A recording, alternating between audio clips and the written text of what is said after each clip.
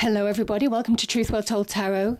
This is the daily read for Tuesday, the 16th of July 2019, and this is for all signs, so it won't resonate with everybody. It's also the Capricorn full moon partial lunar eclipse on the 16th of July as well, so added energy there.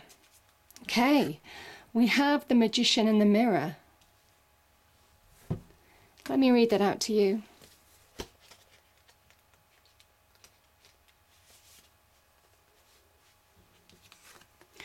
Knowing and using your power, knowing and using your true power, I should say. This card represents the culmination of your personal and spiritual power at this time. In the magician's left hand is the flame of passion and action. In his right hand is a vortex of water and the light of reflection. This highly beneficial card is telling you that you are the magician. And within your grasp are the amazing forces of earth and spirit. The water is the energy of yin, the power of spirit and clarity of thought. The flame is the energy of yang, bringing direction and creativity. Together they give you the magnificent magic of transformation. The mirror stands beside the magician, reflecting the outer world's response to your choice to use or dismiss the true power that you have. Its silver reflection reveals the future in a mist on the horizon, ready to be magically formed. When you receive the magician upright, you are put on notice that an important and powerful time is at hand. You are the alchemist of your life. And just as an alchemist turns base, metal, base metals into gold, you are now able to transform your difficulties into great blessings. This is true in every area of your life. Claim your power and embrace your intentions in your heart and in your daily life. Direct your destiny, and the mists of the future will clear into brilliant reality. Isn't that beautiful? And you know, there's a lot of transformational energies around, certainly with this full moon. We have the moon conjunct with Pluto, talking about intense feelings, but nevertheless, certainly when that Pluto energy turns up, the planet of death, destruction, transformation, rebirth, there's opportunity either to let go or to allow your emotions to guide you in some way. Transformative effect, most definitely. And we also have the Sun opposite Pluto as well. As long as you, yeah, you see, card of, yeah, card of Pluto. We have the Death card, card of Scorpio, ruled by Pluto. Ability to let go of things that you don't need in your life this is very much an intense moon. Sun opposite Pluto can talk about conflict, excessive behaviour. Um, okay, we have, yeah, endings and new beginnings are on offer. We have the Four of Swords and we have the Three of Wands. You know, I will read them because I think the cards are coming out for a reason, so let's just put them all here. Let's go with it. yeah. Okay. No more cards turned over, did they? I think that's everything. Okay. Let me just line this up a little bit better because I've pulled out quite a few cards for today. All right.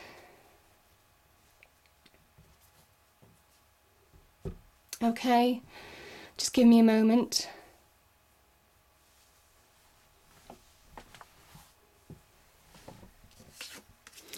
I'm going to start here. We have the Three of Swords and we have the Seven of Cups. So the Seven of Cups is Venus in Scorpio. So I kind of feel some of you are.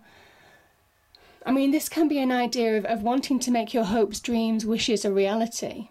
Venus is that wonderful promise of something great, something uh, positive coming into your life. But it really is about you get, getting hold of the opportunity and making it happen. The Three of Swords, you know, I mean, we know this card, there are levels to this card as well. It doesn't surprise me the Three of Swords has appeared in this reading because, again, that Pluto energy, uh, certainly that moon conjunct with Pluto, we will be certainly things from the past, even things that we buried deep from years ago, could resurrect, could be resurrected. And if, I mean, it can well be intense emotions. Now, if those emotions are not positive emotions, if they're negative emotions, that can link to that Three of Swords energy. And it is about moving forward with um, possibility or the possibility or the opportunity to move forward now in your life. Uh, again, this is Venus in Scorpio, and we have uh, Scorpio in the death card as well. There's an opportunity to really bring transformation to your life, but there is something about releasing deep hurts, releasing deep emotion from the past in order to really grab hold of possibilities for the future. Uh, so, powerful energies there. And yeah, I think for some of you, certainly that Three of Swords, the Tower energy. I mean, this is the card of Mars, the Tower. I think some of you are. There, there's some of you may have gone through change or are still going through change, maybe as a result of that Three of Swords energy. Now, Three of Swords can be in relationships. Um, as it's a general reading, it can be deep hurts in other areas of your life as well, just areas where you've not been treated well or not been treated fairly or have been wounded in some way. Could be by communication, doesn't have to necessarily be by people's actions. Words are just as hurtful in that Three of Swords situation as, as people's actions. So, whatever that Three of Swords was, the Tower energy is, is kind of indicating that it brought, it brought about change, but it would have been destructive change there, again, with the tower, there are levels to this card, but this is about big change. And it is saying that change needed to happen in order for you to be liberated in some way, in order for you to see the truth of a situation. Um, because this is when people's masks are revealed, the masks of a situation, the falsities that you may have trusted, relationships that were built not on solid foundations it kind of says, certainly with that square tower and the round crown, something certainly doesn't fit you anymore. And change needed to happen in order to align you to your true destiny. So, the Queen of Cups for me is it can be about doing things. The way to overcome this energy is to do things from the heart, possibly, you know, from a position of love, from a position of compassion, also, it is very much about connecting with yourself and me as well. Um, the Queen of Cups is a card of Cancer, and we are in the Cancerian season as well, still. Certainly with the 16th of July energy and that full moon in Capricorn. So it's interesting that we have the Cancerian energy here, and we've also got the Capricorn energy appearing here. And the Cancerian energy is very much about home, family, all of those kind of things that, you know, give us solidity, emotional solidity in some respects. And I kind of think this is this is the promise of you finding that. Whether it's in a relationship, this can be an offer of love after moving on from, from hurt in the past. Or really being un- allowed to see the truth of a situation with that tower energy in order to fully embrace who you are and reconnecting with yourself fully. Uh, finding yourself again, I do feel that Queen of Cups energy can be reconnecting to you. It can be coming back to a place of love. There's something about going with the flow with this energy as well and trusting your intuition to make decisions. So, whatever this energy is, whatever the tower energy is, whether it's career or relationships, there is something about making decisions from the heart in order to move on. Now, there could be a Cancer, some uh, a Cancerian sign or a water sign in general, Pisces, Scorpio, Cancer, giving you some advice to move on, giving you direction. But really, I'm feeling a reconnection with you in this card. I'm feeling that the choices that you make as well should be from the heart, should be from a place of love. I think it's realigned you to a place of love, maybe having turned your back on that love um, for a period of time.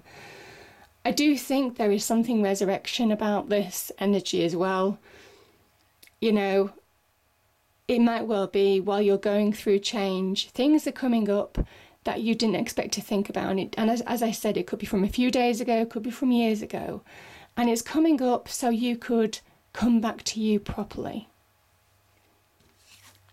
And that's what I, I kind of think this is as well. We have the Five of Cups and we have the Four of Swords. I think this is taking time to, again, past losses, uh, mourning what's gone. All of that is very much the Five of Cups energy, whether it's in career or relationships or just friendships.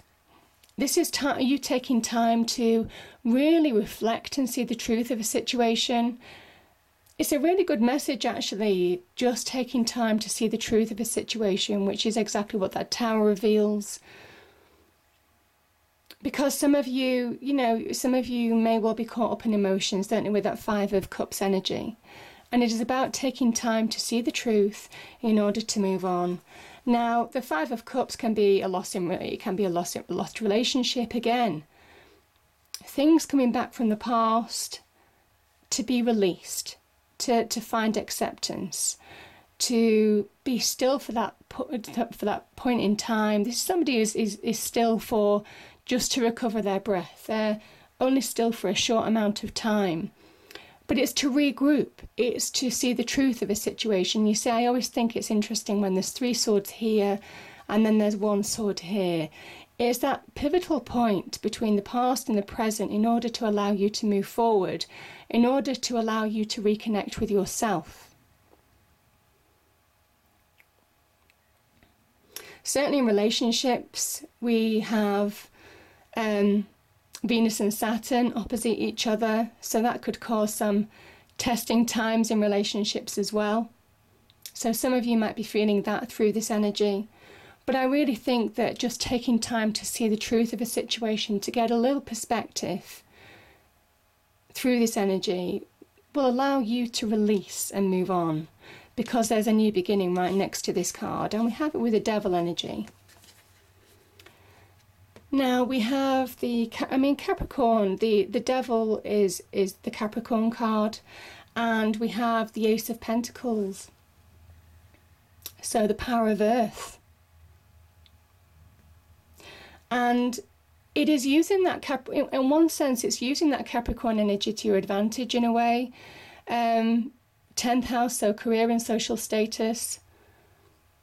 This moon though it will bring up intense energies, good or bad, um, if you do things from the heart, if you go with the flow in a way and allow yourself to see truths of situations and really try and walk a fine balancing act, not allow yourself to fall into this insecurity, um, there is a kind of message that you can really certainly transform your money and career aspect. There are opportunities to bring new transformations, new beginnings because um, that's what that Pluto energy does. Uh, very much about death, destruction, transformation, rebirth. And with, conjunct with that moon energy, uh, the, the planet of, of illusion, deception, not dissimilar to the devil in that respect. It is, it is about seeing the truth of a situation in order to, to see opportunity. Um, because in this intensity, there is opportunity for transformation as well. So yeah, I this devil energy is where you need to ground yourself with this the power of earth. The Ace of Pentacles is that power of earth card. By grounding yourself, you won't be swayed by you won't be swayed by illusion. You won't be swayed by giving your power to other people. You won't be swayed by allowing yourself to sink into that negativity. But instead, you will allow it to release you. You will allow yourself to move on by releasing the past. This can talk about negativities, toxic relationships, could be in business or could be in, in love. Um, things that have held on to you for far too long without you probably realizing it. Again, this is about deep, intense emotion coming back, good or bad, in order to allow you to transform and move forward. So beautiful energy there. And there could be, I mean, Pentacles is very much about the, the stability and structure that we need in our lives. So our family, our our money, our careers, our homes, our possessions, the, the structures, the tangible assets, uh, the securities that we need. And there is something about you overcoming your demons by really allowing yourself to take time out to focus and see where there is opportunity to move on and really understand what you need to release as well. There is opportunity here, certainly in love, to move on with the heart, certainly family and home. There's opportunity to move on in money and career, which is really what obviously it's Cancer season, it's a Capricorn full moon. Um, that is pretty much what those energies are saying to us. But it is overcoming extremes with that sun opposite Pluto so excessive reaction and also the the um, moon opposite sorry the moon conjunct with pluto can talk where you keep yourself stuck. I also think this four of, of swords can be when you fixate on something.